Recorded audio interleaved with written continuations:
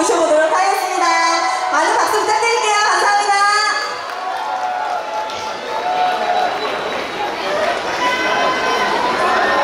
안녕하세요. 반갑습니다. 반갑습니다. 정리입니다. 반갑습니다. 네. 아, 네. 감사합니다. 아, 요즘같이 이렇게 비가 오는 날, 비가 자주 오는 날 들려드리려고 이제 곡을 하나 준비했어요. 잘 들어주시면 너무 감사하겠고요. 이렇게 먼길 와주셔서 너무너무 감사합니다. 그때 그 사람 들려드릴게요.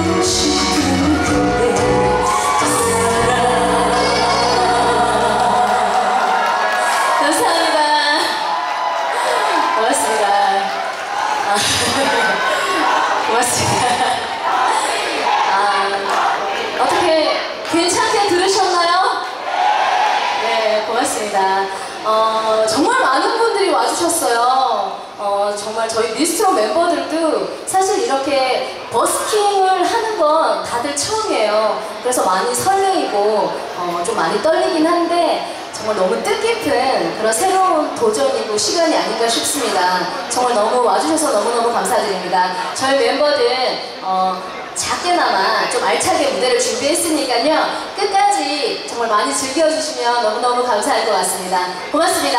다음 곡은요. 어, 제 신곡 꿀맛 한번 들려드려 볼게요. 다 같이 많이 많이 박수 많이 많이 쳐주시고 즐겨주세요.